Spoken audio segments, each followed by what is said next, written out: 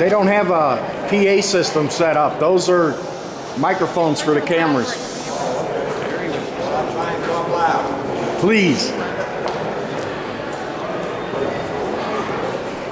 I'd like to thank everybody for coming today.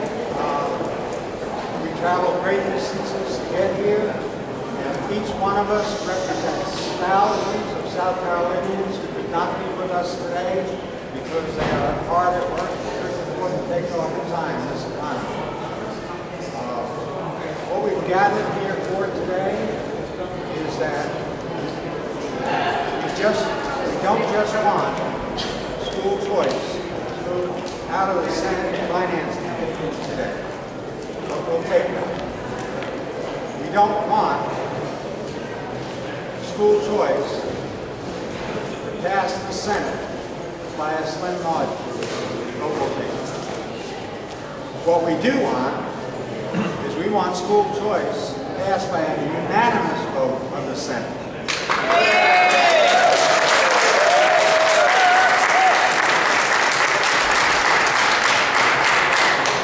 anyone in this Senate not want a better education for their children? Is, is the future of our children less important than the empire building that has gone on in our school system? I would like to ask Senators Leatherman, O'Dell, Hayes, Rankin, Knotts, and the entire Senate Finance Committee, whom do you represent?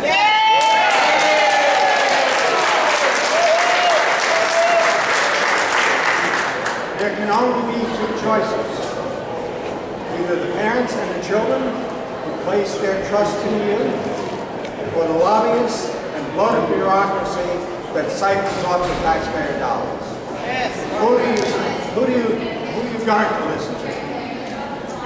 It is said that in South Carolina, we spend $12,000 per student. But how much really goes into the classroom? Eight of our district superintendents are paid over $191,000 a year. They build their own empires with wasteful administrative costs that steal precious dollars from our children that need the help most. A little Lean Sigma program would go a long way in streamlining this bureaucracy. In 2010, we had a statewide referendum on what we, what the future of our schools was going to be. And that referendum resulted in the election of our state school superintendent, Mick Zais. He was given a clear direction to go ahead on his program for improving our school system. The Senate cannot hold that back.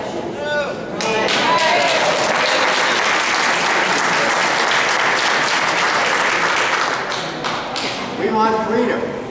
Freedom to get the best education for our children so that they may become the most productive members of our society and, not be a burden on our society. The public school monopoly has failed us and we want other choices. Maybe it's time for a new program. Let me run this one by. How about parents in the classroom? We would like to see rules changed to allow parents, at will, to monitor children's classroom.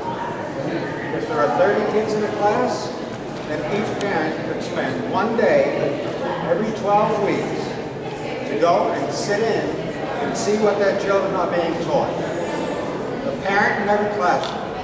Boy, that open some eyes. These parents will have homework too. When they finish their day in the classroom, we ask them to do their homework by relaying their experiences to letters to the editor with copies to Superintendent Zais, the state and county school boards, the school principals, and all their respective legislative delegations. That may create some free market and allow students to be qualified for the jobs that we are trying so hard to bring to South Carolina. Thank you.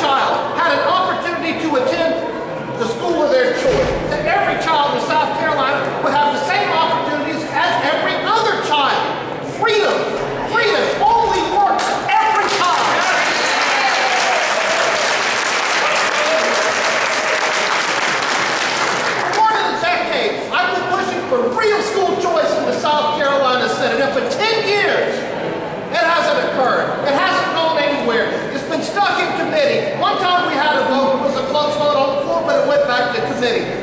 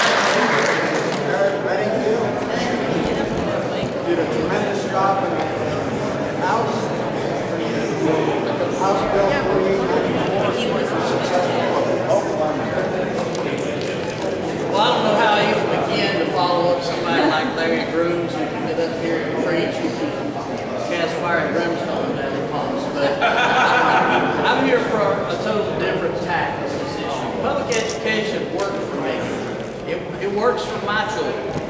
I, I have four children, two of which were gone through the public education system and are off in college or, or married with my first grandchild.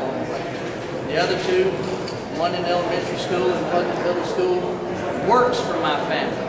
But it works because my wife and I are constantly involved in their day-to-day -day education. I constantly correspond with their teachers and their principals who are great people and have been real assets to my children through their education. But I'll tell you who it doesn't work for. It doesn't work for families who aren't involved in their children's education. It doesn't work for families who are somewhat apathetical about the educational process, who use the schools for things other than just an educational opportunity for their children. What I believe school choice does is empower parents they have the feeling of control, the feeling of responsibility. It gives them the ability to choose what education works best for their child, whether that be single-gender classrooms um, or, or other such choice opportunities, some of which take place in our public school system. Our public school system has already made changes just because of this argument over the past 10 years what we want to see is that come to a final culmination. We fought, we worked hard in the house. We had great partners in the house. We brought people to the table in the house who haven't supported choice in the past. Yes, we had to compromise. This bill is not the perfect school choice bill, but it is the best place for South Carolina to start. It's our bill. It's a bill developed by South Carolinians, brought to the table by South Carolinians. What I'm asking for and what I'm looking for is follow through. I want to see my colleagues in the Senate bring to the table this bill, amend the bill, do whatever you have to do to the bill to give the people of South Carolina an opportunity to vote on it.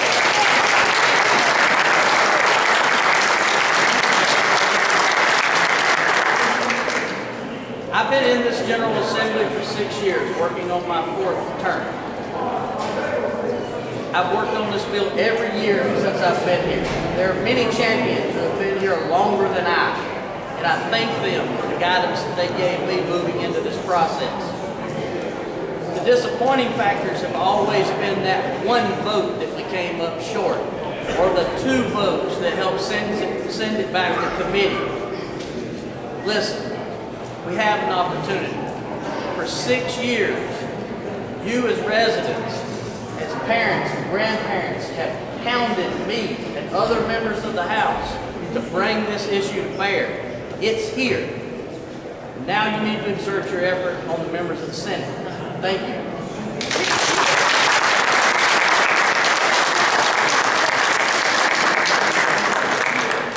Thank you, Representative Bedingfield. Next, we have uh, John Steinberger. Most of you know John Steinberger through his association with Fair Tax, but right now he's in a uh, Senate race in uh, Frank McConnell's district. I'd like to introduce John.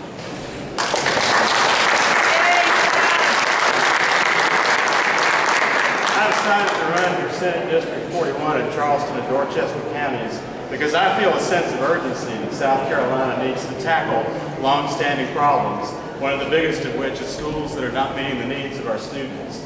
I, I, do, I am a teacher. I teach at a Christian school in Mount Pleasant, and I know families who have had to disenroll their children because of the tough economy. Those families need help from the state.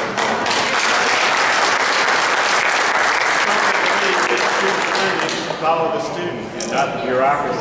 That's not what we're getting right now.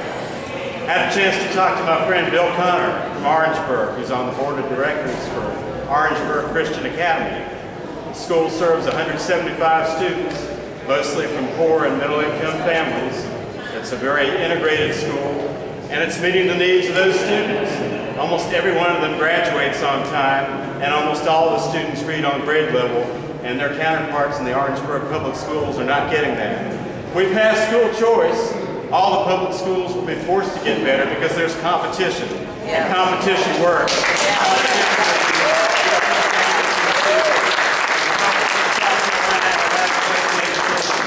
So like I said, we need a sense of urgency in the Senate. The Senate Finance Committee needs to get it out of committee. The Senate needs to vote for it. They need to listen to their constituents and get this done for the future. of our state.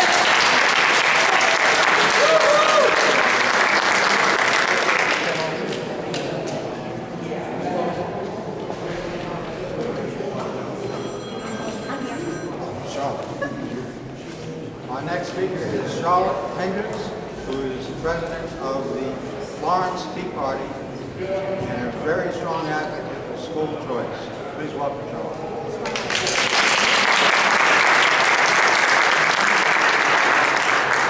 I'm here today to support the passage of H 4894, which would usher in important school reforms in South Carolina. As a mother of four children who've gone through the public school system in South Carolina, who now teach full-time, I feel I'm more than qualified to give my opinion about this. Over the past 40 years, I've been concerned about a number of issues uh, within our school system itself. One of those issues is one size fits all. Two out of our four children uh, did not fit into this concept. Each child has a different need and a different academic problem that they need solved. Uh, H 4894 will create competition, as others have said, with all schools, not just some, but all schools. Uh, Parents will have a greater voice through education tax credits, enable children to escape failing schools and take meaningful steps toward curing waste, fraud, and abuse that bureaucracy has carried on throughout the years.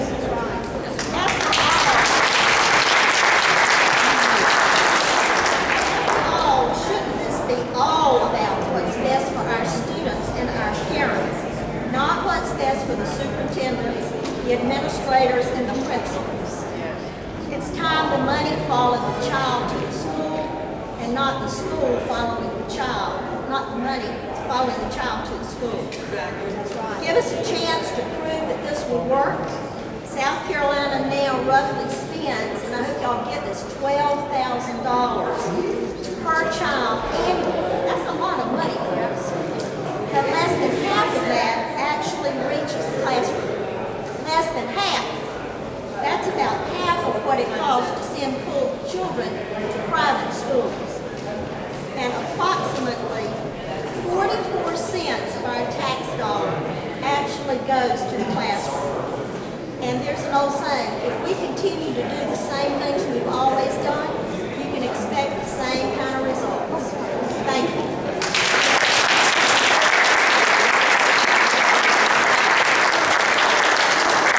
Next speaker will be Mr. Ron Garcia. Hi, I'm here. I'm Roan Garcia Quintana with House, and uh, believe it or not, a lot of you know me because of immigration issues, but my whole life has been spent in education. I work for Ronald Reagan in education. I work here in the State Department of Education as a researcher, statistician, and testing. And uh, I've been in the classroom, I've taught in college. I, I think that as a conservative, I'm a very small minority uh, because uh, you don't see too many conservative in the education field. We need more. But uh, with Ronald Reagan in the 80s, we were talking about school choice, and we need school choice. If, you go into school and look, look at what's going on, there's very little teaching. You know, a lot of kids are just being thrown by the side. Like uh, Larry Grooms was saying, you know, a lot of times the parents don't, they're just striving to survive, they can't keep up with every detail. So they don't have the choice. There have been numerous movies on this issue, on, on, on school choice, and then you see the people, they have a lottery, and then the people who lose, they cry, because they, they, that's all they want. They just want an education for their kids. It's not just because a parent doesn't show up for a PTA meeting doesn't mean that they don't care. They do care. We need to give them, we owe them. We owe them this, we owe the American people this. We have choices on everything else that, that we do in this nation, so why not give us a choice to put the kid in a school that we, the parents, uh, think is best for their, for their uh, suits, that suits for, for, for them. Uh, you see a lot of kids today. We used to make fun, and, and when I worked in the State Department of Education, I did worked in testing, and we said, you know, education in the government schools through through December, they teach through December and January, they start teaching to the test.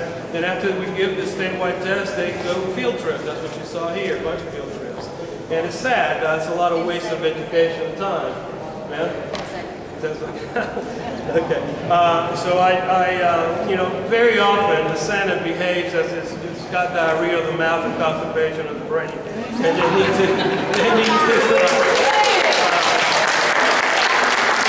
They need to do something. Take some medicine. There are plenty of medicines out there they can take, but they need to move on. And move on in a solid fashion, not in a liquid fashion. God bless everybody, and thank you for listening.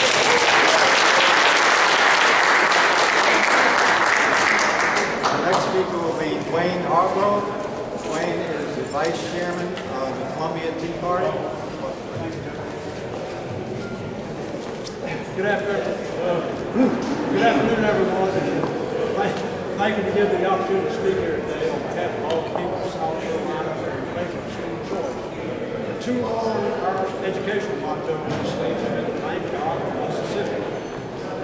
We're, doing better than the 47. Government wants to put America, the greatest nation that's ever existed, number 17 in the world in education. Since parents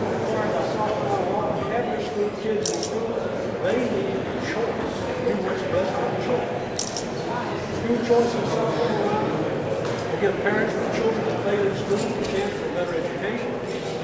Louisiana and Indiana have both passed school choice bipartisan legislation.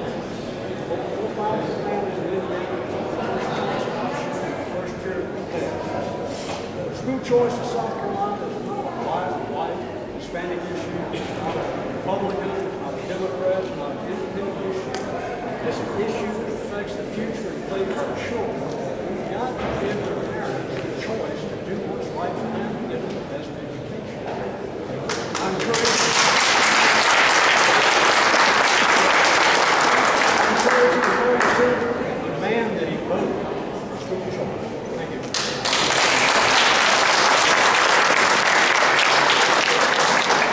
My next speaker is Sherry Smith, Mr. Chairman. Uh, Sumter, uh, GOP.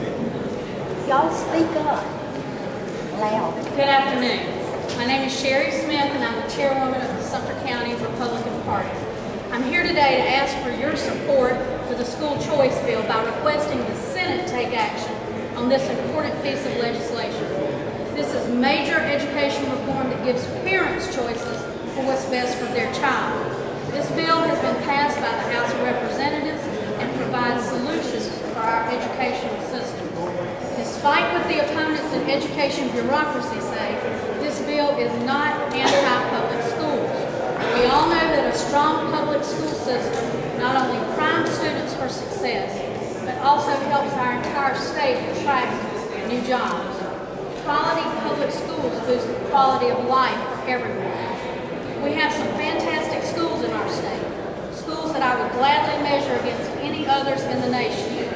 However, we also have students trapped in schools that are perpetually struggling to get better.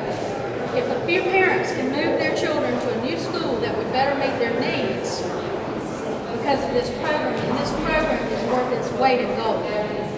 South Carolina is not the first state to pass school choice. Private school choice programs that use tax credit funded scholarships have been proven to provide net savings to state and local governments. In Florida, program upon which this bill was based, there has not been proved any proven evidence between the school choice program and a loss of state aid and traditional public schools. More than 20 states in the nation have school choice programs of some type. The House of Representatives last month passed the school choice bill, it, but it's been bottled up in the Senate committee. I would urge our senators to take quick action in bringing this piece of legislation to a vote. Much of this debate surrounds the tax credits and exactly whose money that is. It's a core Republican principle that the tax money belongs to the taxpayer, not to the state.